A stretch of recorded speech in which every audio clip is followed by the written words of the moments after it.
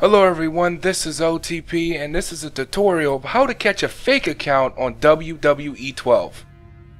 If you don't know what I'm talking about, it's when noobs go on fake PSNs and trying to find the fair people, beat them and upload them on YouTube.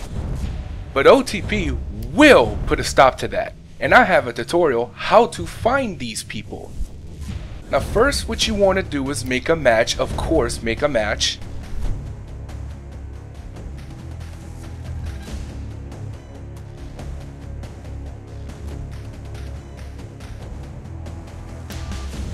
Pick a character, any character you like. Now when a person joins, type down or write down on a notepad, computer, whatever, their PlayStation Network name. Go create a message, type down their network ID, and either send them a message or send them a blank message.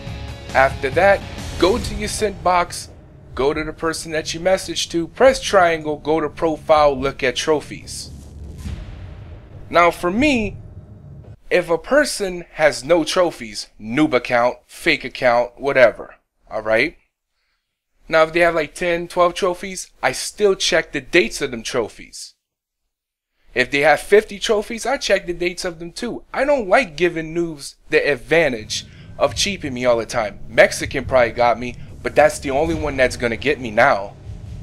And this is probably gonna be the end of fake accounts. So I'm sorry, noobs. Blame Mexican pride. Don't blame me.